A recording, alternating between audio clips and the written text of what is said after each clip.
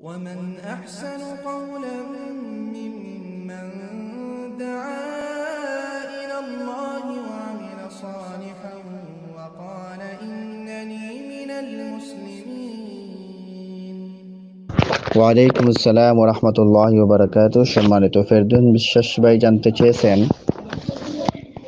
যারা গালিগালাজ করে তাদেরকে কিভাবে নসিহত করবেন আর তাদের ব্যাপারে হুকুম কি যারা গালিগালাজ করে তাদেরকে সুরাই হুজরাতের আয়াতগুলাকে পড়ার জন্য নসিহত করবেন।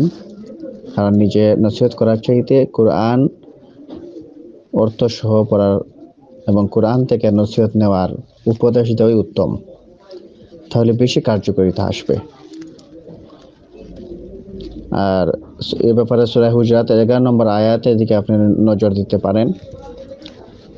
তাছাড়া রাসুল্লাহ সাল্লাহ আলি সাল্লাম বলছেন সিবাবুল মুসলিমি ফুসুকুন ওয়াকিতালু কুফর মুসলিমকে গালি দেওয়া ফাসিক আর তাকে হত্যা করা কুফরি আর তাকে গালিগালাজ করার মাধ্যমে কষ্ট দেওয়া তাকে মন্দ ডাক নামে ডাকার মাধ্যমে কষ্ট দেওয়া তার বিভিন্নভাবে মুখের মাধ্যমে কষ্ট দেওয়া হারাম এক মুসলিম অন্য মুসলিমকে কষ্ট দেওয়ার কোনো অধিকার নাই। রাসুল্লাহ সাল্লাম বলছেন, কেবল কেবল সেই মুসলিম যার হাত ও মুখ দ্বারা অন্য মুসলিম নিরাপদ থাকে।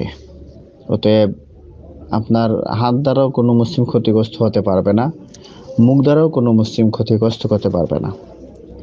এ ব্যাপারে সুরা আহজাবের আঠারো নম্বর আয়াতে, আটান্ন নম্বর আয়াতে আল্লাহ রাবুল আলমিন বলছেন والذين يؤذون المؤمنين والمؤمنات بغير ما اكتسبوا فقد احتملوا بهتانا وإثما مبينا আর যারা মুমিন পুরুষ ও মুমিন নারীদেরকে কষ্ট দেয় তাদের কোনো অপরাধ ছাড়াই তারা অপবাদের ও সুস্পষ্ট পাপের বোঝা বহন করবে অতএব কোনো মুসলিমকে অন্য মুসলিম গালি দেওয়া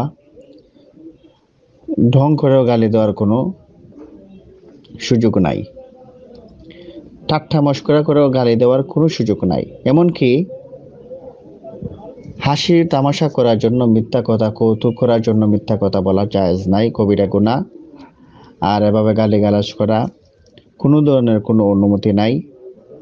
আর এভাবে মানুষের কষ্ট দেওয়ারও কোনো অনুমতি নাই। সে কবিরা গুণা করবে।